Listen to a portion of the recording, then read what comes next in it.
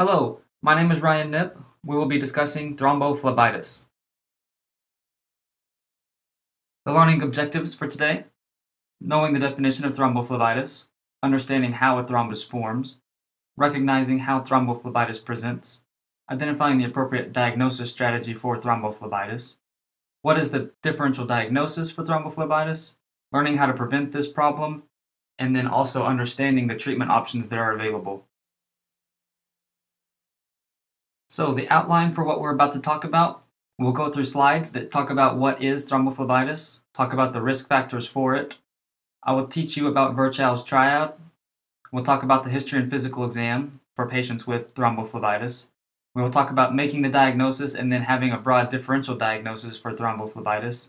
Then we will go on to talk about prevention and treatment of thrombophlebitis. Now, just what is thrombophlebitis? Thrombophlebitis, also known as superficial thrombophlebitis, refers to a pathological state characterized by an inflammatory thrombotic process in a superficial vein. Distinctive clinical findings include pain and a reddened, warm, tender cord extending along the vein. The surrounding area may show signs of erythema, reddening of the skin, and edema, swelling of the tissue.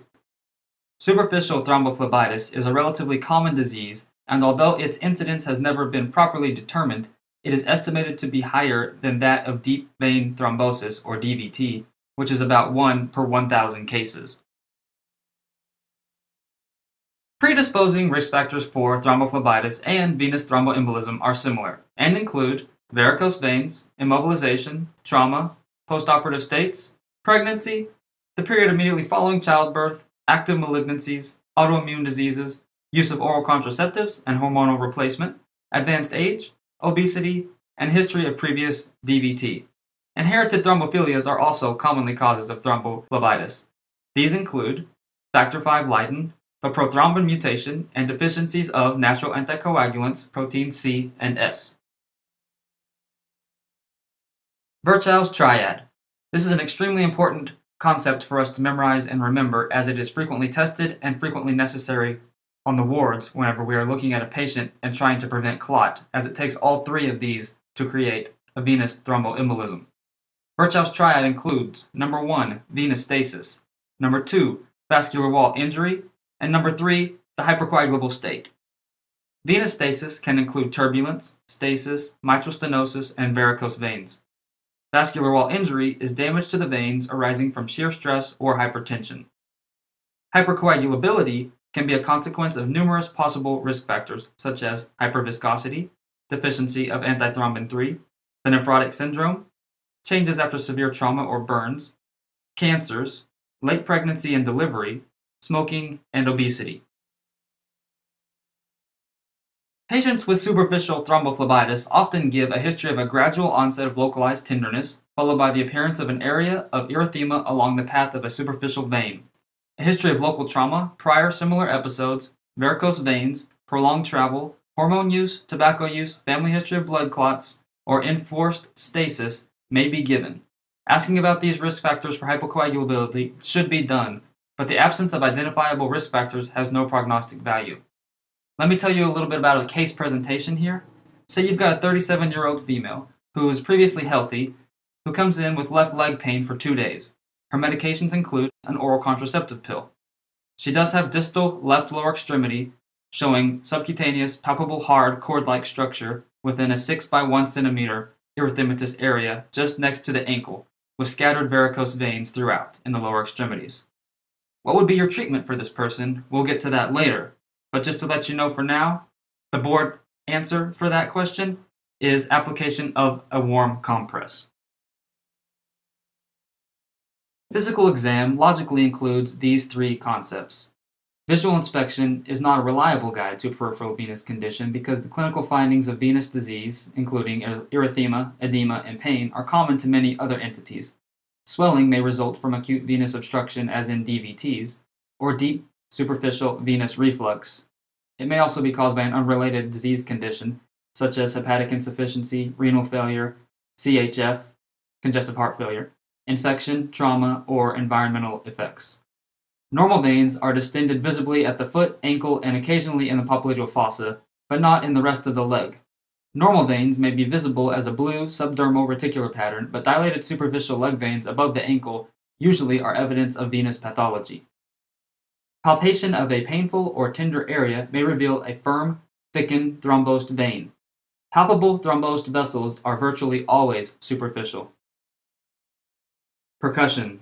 Perthes percussion test is a classic maneuver with high sensitivity but low specificity that tests if venous segments are interconnected. With the patient in a standing position, a vein segment is tapped at one location, while an examining hand feels a pulse wave at another location. Propagation of a palpable pulse wave suggests that a fluid filled vessel with open or incompetent valves connects the two locations. A pulse wave may be propagated after prolonged standing in the absence of true pathology, because prolonged standing causes even normal veins to become distended and normal valves to float open. Perthes test is most valuable when a bulging varicosity in the lower leg has no obvious connection with the varicosity in the upper leg. A palpable pulse wave propagation between the two vessels is proof positive of the existence of an unseen connection. Now, making the diagnosis of thrombophlebitis obviously includes a physical exam. An elevated D dimer is not very specific, but it is very sensitive for a DVT. Now, if you don't have an elevated D dimer, it's very unlikely that you have a DVT. All patients with superficial thrombophlebitis above the knee should undergo duplex ultrasound as the initial diagnostic modality of choice to rule out DVT. When the patient has superficial thrombophlebitis below the knee, duplex ultrasound is only indicated for signs and symptoms consistent with a DVT. These include asymmetric swelling, erythema, and pain. Superficial thrombophlebitis in lower extremity varicose veins has an extremely low incidence of DVTs. Now, venography, including magnetic resonance venography, is non invasive and it is probably more sensitive and more specific than ultrasound for the detection of deep venous thrombophlebitis. However, it's not readily available at most locations and is not practical at most institutions either. Invasive contrast venography, once the criterion standard for evaluation of the venous system, has fallen out of favor due to its invasiveness, use of ionizing radiation, and use of IV contrast. In addition, it can lead to venous scarring and thrombophlebitis itself.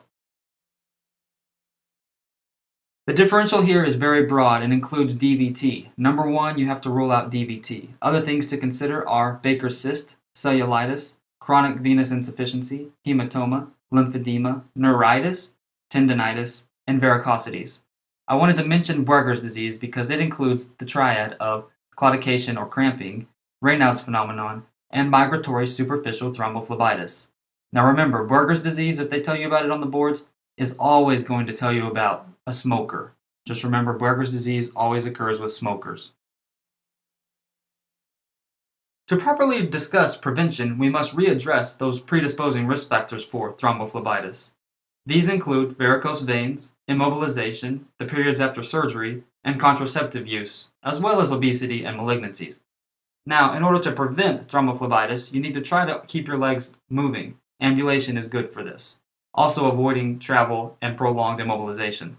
Use of compression stockings is good for varicose veins and preventing the stasis that occurs in veins.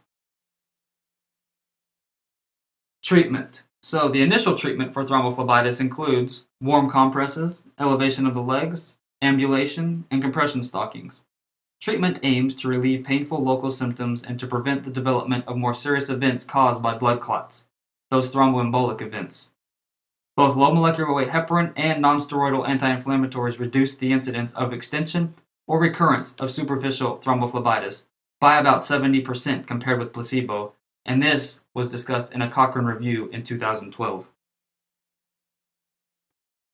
To summarize, I wanted to make sure that we have all of these questions answered. Number one, the definition.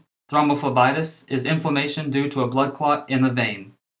Number two, thrombus formation is what we need to remember Virchow's triad for, which includes number one, abnormal blood flow, number two, endothelial damage, and number three, hypercoagulability.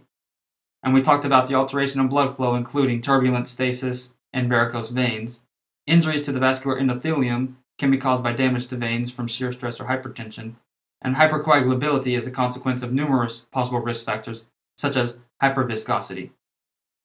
Number three, patients with superficial thrombophlebitis often give a history of a gradual onset of localized tenderness, followed by the appearance of an area of erythema along the path of a superficial vein. A history of local trauma, prior similar episodes, varicose veins, prolonged travel, hormone use, and tobacco use should be questioned.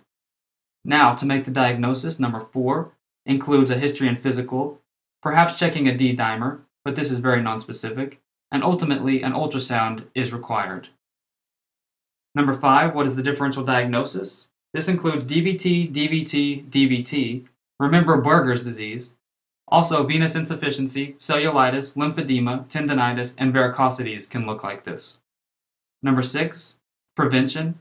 This includes ambulation, compression stockings, treating varicose veins. And number seven, the treatments. Remember the initial treatments are warm compresses, leg elevation, ambulation, and compression stockings. NSAIDs, or ibuprofen, Motrin, etc., are usually used, but the Cochrane review also showed that low molecular weight heparin, or enoxaparin, is another good option for preventing the extension of thrombophlebitis. These are my key references that I used to make the previous presentation. My acknowledgement includes the incredible Duke Internal Medicine residency program. Thank you very much.